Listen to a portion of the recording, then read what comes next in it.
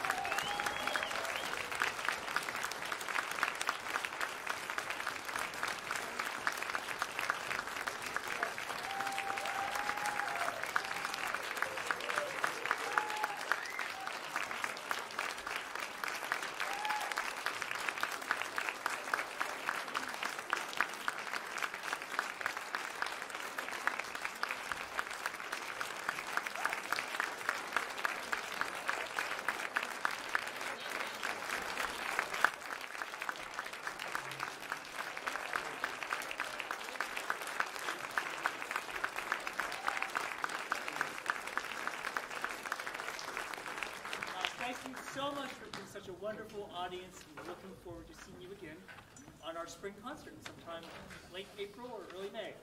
So see you then, and have a wonderful holiday season of Thanksgiving. And thank you.